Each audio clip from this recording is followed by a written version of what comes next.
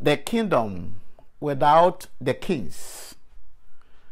A kingdom which has no king is, of course, not a kingdom. And that kingdom cannot reign since there is no king. Because there are kings that cause the kingdom to reign. It's the, it's the human, the human ruler who cause a kingdom to reign. If you have a very powerful kingdom and there's no powerful ruler, there won't be anything like powerful kingdom. There should be the, the, the, the ruler that makes the kingdom powerful. So when we look through the world and the history of the world, we find people who have ruled over nations as kings or as presidents.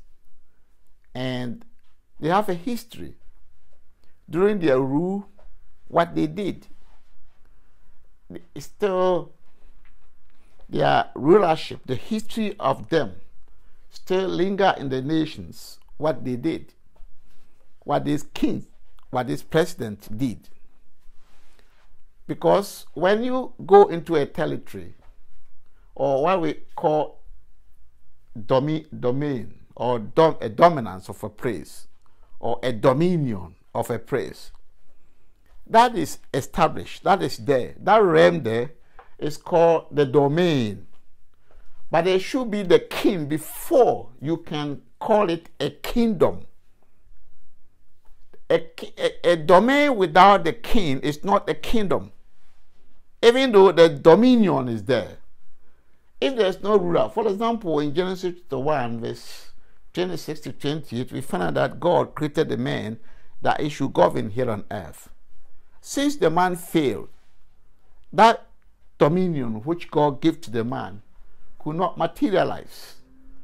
And what happened was even disastrous death and destruction, poverty, oppression, brokenheartedness came as a result.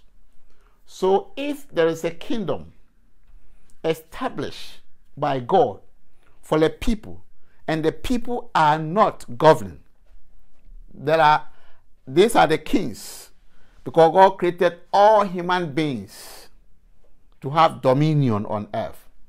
So he gave them, the man and the woman, they should have dominion on earth. What turned out to be? What turned out was that is that neither the man nor the woman had dominion. That the man even started to have dominion over the woman. Meanwhile, the two of them were given dominion. They were deceived by Satan to rather try to uh, exercise powers over themselves. That is why when any human being is exercising power or oppressing any other human being, it is not godly. If you have rulers who are oppressing the others, like we have maybe authoritarian rules that is found in communist nations. People say their, their system is best. Why? Because nobody can speak. The democracies of the West is bad. Why? Because everybody can choose. Even people can decide whether they marry a man. If a man can decide to marry a man, a woman can decide to marry a woman. I mean, why should somebody's problem, somebody's choice, if it is not harmful to you, why should it become your worry? Everybody should have his or her freedom. And we say, oh, but too much freedom is bad. Yes, I understand that. Because people will choose things which you may not like. That is why you say it's bad. But once you are not affected or affected by the choices, why should you worry? The person is not armed robber. He is not a bandit. He is not a kidnapper. He is not a terrorist. It is his choice. He is not, you see, what is wrong is when it is taught in a classroom and imposed upon people. That is wrong. because then they are imposing it on others. But if they will stay in their corner and practice it, why should the states, people who are godly, why should they worry? But they can impose themselves in the society when they are not kings, godly kings ruling.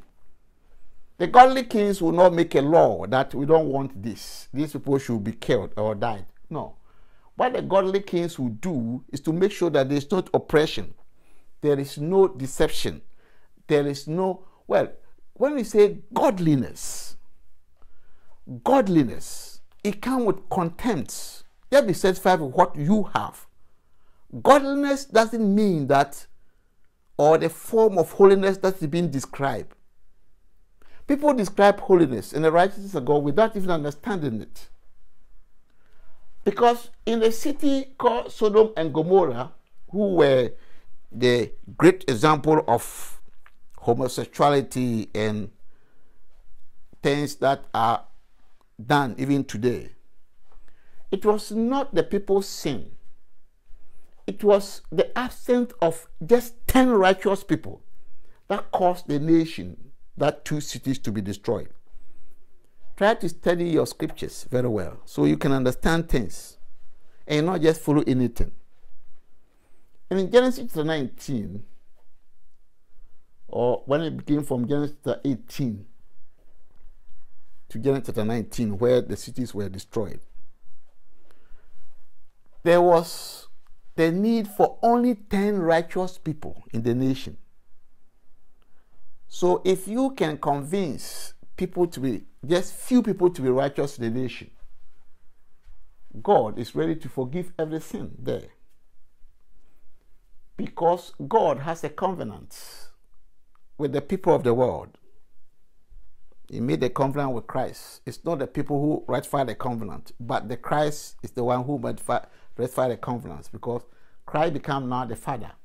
Now, if in that covenant of Christ, God has said he will not even remember the unrighteousness of the people and their sins and iniquity, he will not remember them. He will not remember their sins. He will be merciful to the unrighteous deeds and their sins and iniquities, he will not remember. So when he said the new covenant, he has made the first old.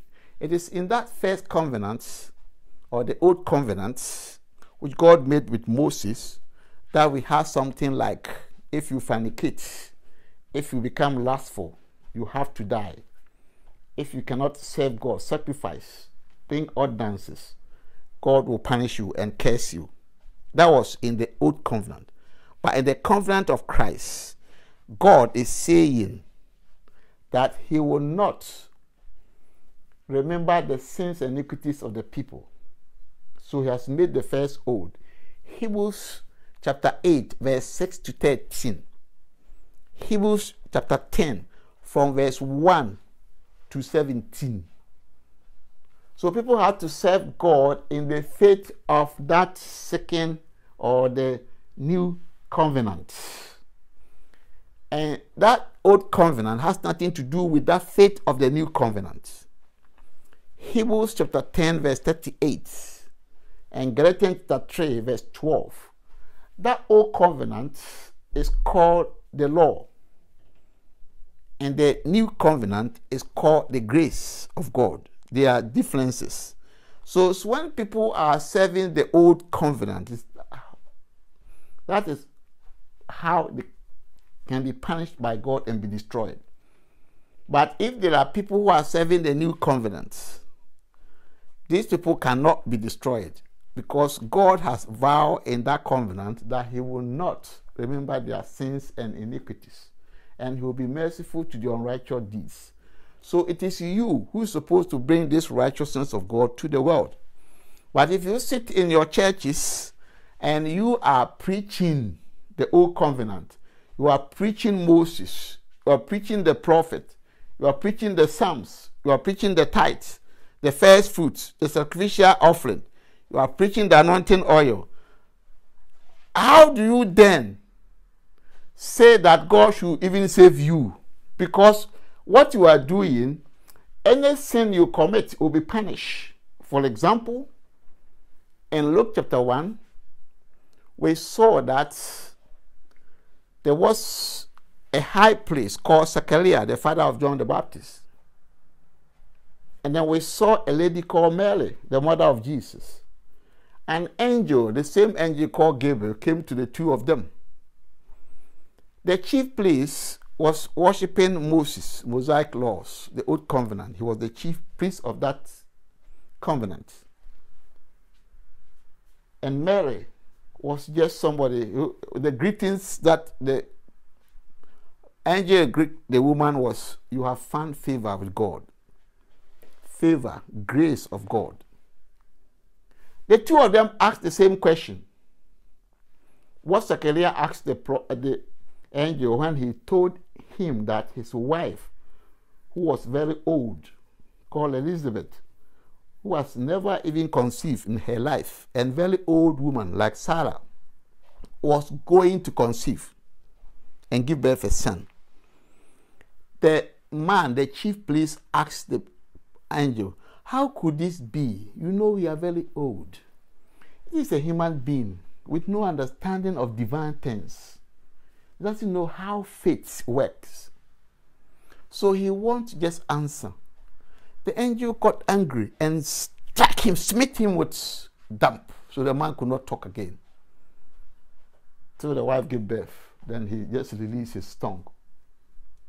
He came to Mary. This same angel came to Mary and told her that you are going to conceive. And then he said, I'm not married.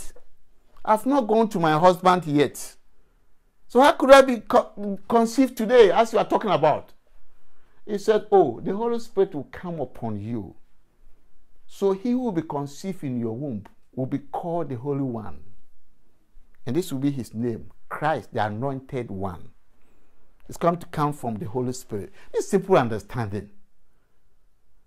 But he punished Zechariah. Why? Because he was under the law. So if anybody is putting you under the law, know that you are going to be punished. Any little mistake you do.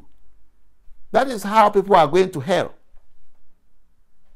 If you are under the grace, Romans 6:14 is saying that you can't be dominion, be dominated by sin. Since you are not under the law. Because Apostle Paul explained in Romans chapter 7, from verse 7 to 11, that it is the law that make people cause become sinners. Romans chapter 7, from verse 7 to 11. So if you don't have this understanding, somebody will come with anointing oil to teach you to use it. Somebody will come with tithe to teach you to follow it. And in doing that, then be make, make sure that you don't commit any sin, even in your mind. Because that will cause Satan to destroy you, because God will give you up. That's what Satan is using to deceive people who believe in Christ. And that's why they are suffering. Because as many of people who are just practicing any work of the law is under curse, and that person cannot receive any grace from God. Galatians 3 verse 10, Galatians 5 verse 4. So you have to need this understanding. Galatians 3 10, and you can't receive any miracle from the Holy Spirit. Galatians 3 verse 5. Galatians 3 5. He who work, work give you the spirit and work miracles is not by the words of the law, it's by hearing the faith of the gospel. So these are something you're supposed to know.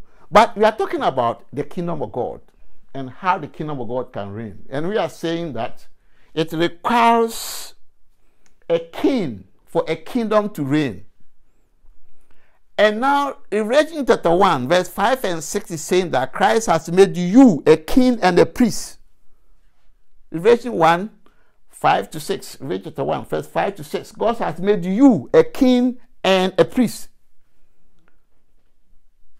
Then Revelation chapter 5, verse 9 and 10. He said, taking you from the nations, the candles, the languages, so that you will govern here on earth.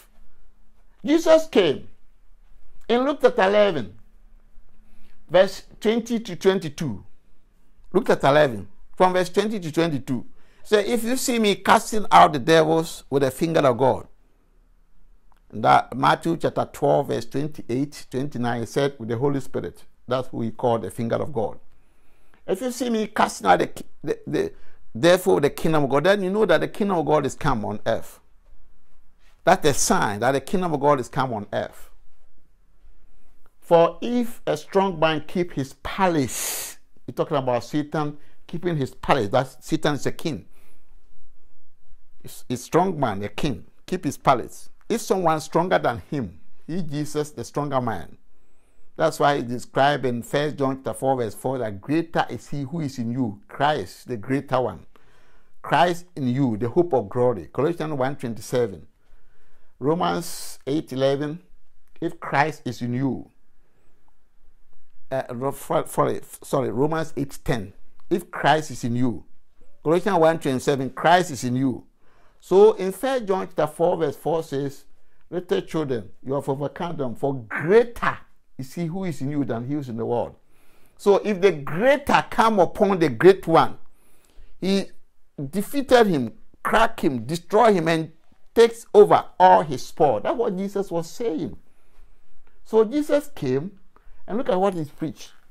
He started to preach the gospel concerning the kingdom of God and telling the people to repent and believe the gospel. Mark chapter 1, verse 14 to 15. Why the gospel? Because the gospel gave birth to sons of God who become the kings.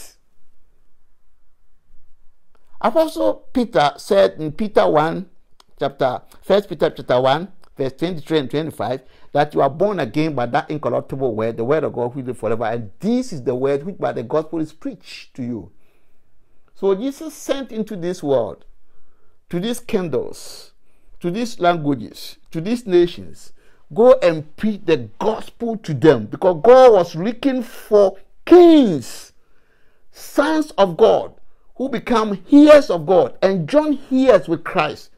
Kings, sons of God, to govern the kingdom which Jesus has set up. Because Daniel chapter 2, verse 44 says that in the days of the nations, where you don't have now any kingdom, the last kingdom called the Iron Kingdom was the Roman King Empire, is collapsed. Now the nations, we have nations, United Nations, they are now existing. In the days of these nations, shall the God of heaven establish his kingdom, and it will crack down all the kingdoms and all the nations and govern so Jesus has set the kingdom, and the kingdom is governed. But where are the kings? This will come from those who believe in the gospel to become the sons. And if they are not deceived and made to be worshiping in temples, singing chorus and hallelujah songs, and following miracles, signs and wonders and prophecies, then they will govern. So if anybody is asking where is the kingdom of God, the question should be where are the kings? The kingdom of God is on earth. But if there are no kings, there will be no governance of that kingdom. So we have to ask the question where are the kings? And they say, go to the churches. They are following miracles, signs and wonders. They want cars, they want buildings, they want money, they want marriages, they want visas. They are worshiping the covenant that make them sinners. They are being put under Ten Commandments, under tithes, under uh, first fruit, under sacrifices, under anointing oil. They are being deceived. So when you are asking where is the kingdom of God, the question should be where are the kings? Because if you enter into a place like, let's say, United States or your country, maybe in Europe, maybe in Nigeria, maybe in Ghana, maybe in Sudan, maybe in Iraq, maybe China, maybe Russia, maybe Caribbean, maybe Argentina, maybe Brazil, and things are going on wrong, who, who do you blame? You ask, where is the government? Is there a government in this place? That's what you ask. Yes, the country exists. There's a country called United States. Germany exists. There is France. There is Nigeria, there is Togo, there is Ghana, there is South Africa, there is China, there is Russia, there is Iraq, there is South America. whatever. So they are there.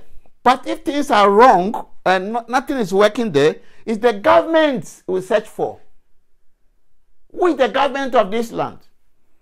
When people don't have food to eat. I see one lady who was cursing and abusing. We can't continue like this. We don't even have food to eat. We can't even buy palm oil. This government, either you change or we, we deal with you. Who is he blaming? The government. He's not blaming the nation, he's blaming the government. Oh, Nigeria, we are bandits, armed robbers, kidnappers, terrorists. We don't have peace. We can't even go out. We don't have electricity. We don't have food to eat. Who do you blame? The government. Is it Nigeria? No, the government. The same way, if you are blaming anybody, if you want questions, if your question is to find out where the kingdom of God is, where there's no kingdom of God, your question should rather be where are the kings? Because they are the ones who are supposed to govern. If there's no king, the kingdom will be dead. There won't be any governance. There won't be any writing. Because the kings make put things in order. So Apostle Paul said, I exhort therefore that first of all, supplications, prayers, intercessions, giving of thanks be made for all men, for the kings, that's the presidents. Today we don't have kings because there are no kingdoms. We have nations.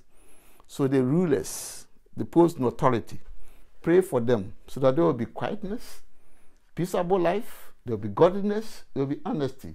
For this is acceptable in the sight of God, who want all men to be saved, to come to the knowledge of the truth of one God, the mediator, the Lord Jesus, who gave himself for us. And who is supposed to do this supplication, prayer, intercession, and giving of thanks? The sons of God, their words, their mouth. As I said, they will have rod in their mouth. They will be given seven spirits. Who Apostle John saw them as seven eyes of God, seven lamps of God. Reaching chapter 4, from verse 6, coming. What Apostle John saw. Now, these people, he said, they will be rod in their mouth. They will smite the earth and judge and slay the wicked. But you say, oh, how would these people slay? How they kill? By their mouth. They will appoint rulers. That's why I say pray for kings and people in authority. They will appoint rulers by their prayers. So their thanksgiving, their supplication, their prayers, their intercession for all men, for the kings and the post authority, were to appoint for men who will put things in order. They will pray for them. So if in your country, the countries of the world, if in United States, if in Russia, if in China, North Korea, in Iran, in Nigeria, in Ghana, in Sudan, whoever, if you are not praying for leaders who are godly, who will take the rod to punish evildoers, slay them, eliminate them, if they don't kill the bandits, they don't kill the armed robbers, they don't kill the kidnappers, kidnappers, they don't kill those who are the terrorists. Imagine, for example, if ISIS, what they call them, ISIS. Those days who were ransacking everything in Iraq, in Syria, and everywhere, and so United States. if the Allied forces did not mount firepower against them and kill all of them, today nobody will have even could have even dream stay in this world because these terrorists will occupy everywhere. Everywhere you go, they will be bombing everywhere.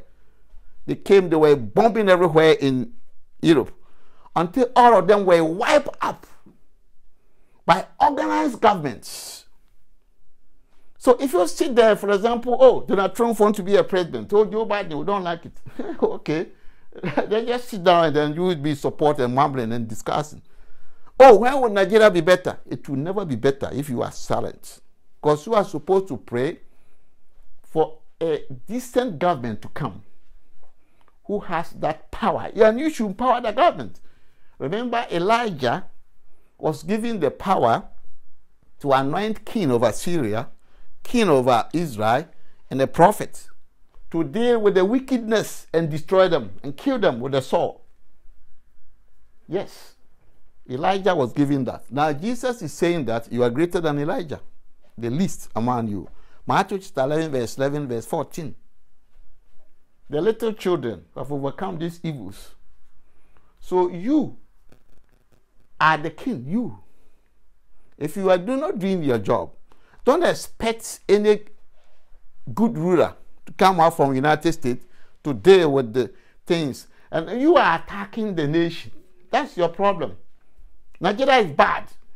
United States is bad. Europe is bad. Germany is not good. Ghana is not good. No. Now you are attacking the system. You are not solving any problem. You're supposed to pray against the bad ruler, pray to anoint a good ruler to solve the problem, to deal with it. If you think the government there has failed, the government is not eliminating the bandits. He's not eliminating the terrorists. He's even one of the terrorist leaders. He's not eliminating the kidnappers. He's not eliminating the armed robbers with firepower, using the military and the police to wipe them off, to kill all of them away, so that there'll be peace in the country. There's no way there'll be peace there. So your argument, you're disputing and you're trying to make the country look very bad. Nigeria is very bad. United States is very bad. It does not solve any pro uh, problem. Trying to listen to YouTube and TikTok will not solve any problem. Because you are the one to do that. If there are no kings, there can't be any kingdom. There can't be any order in the kingdom. Because the king, they are in the first place, they are not kings. Go to Sudan. They don't have any ruler. So everybody does what they want. Go to Libya, there's no ruler there. Everybody does what they want. And if you go to some places like North Korea, the ruler is also oppressing everybody there. There's no freedom. So the freedom is not good. Yes, God gives freedom. He called liberty. So let the people have their liberty. That's the godly rule. And then those who are evil, God knows how to deal with them through the people you set up there set rulers of the nations, just as Elijah did.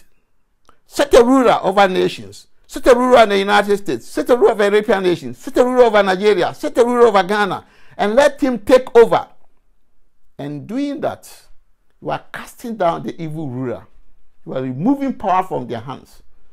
You're removing wealth and riches from their hands. You have to face them out. The whole earth is the kingdom of God the whole earth. Daniel 2:44, the kingdom of God is ruling in this age. So anything that is not of God should be outside the kingdom. Cast them out. If you cast them out, because now when you are a king of the kingdom, you make sure that anything that is evil should not stay in the kingdom, or they are subdued in the kingdom by the power of the rod in your mouth. When you do that, then there will be peace here on earth. Then we look at the steps towards when this thing will happen, when the whole kingdom will now become the kingdom of God. Right now, it is you, the next Christ. When Christ appears in Revelation chapter 20, you see Christ. His term, the term will come to rule. And then First Corinthians chapter 15 from verse 24 to 28, you see that now he handed everything to God. So look at the steps. Now you are the one to govern. Then Christ will come to govern. Then God will take over everything. But when you fail and waiting for Christ to come, then you are going to be brave. So you have to work out your salvation. Philippians chapter 2, from verse 10 to 15. Philippians chapter 2, from verse 10 to 15. At the name of Jesus, you have to subdue things now and let all things conform to Christ. So God is working in you. So stop that mumbling and disputing so that you will not be blameless. But as you will not be blamed, so that you become blameless, harmless, and the uh, godly Son of God who shine in this light as light as light. It's now our turn. We are now to govern before Christ returns. Let this truth be in you and stop worshiping, sitting in the church room and worshiping and sitting in a nation and complaining. May God give you understanding. Amen.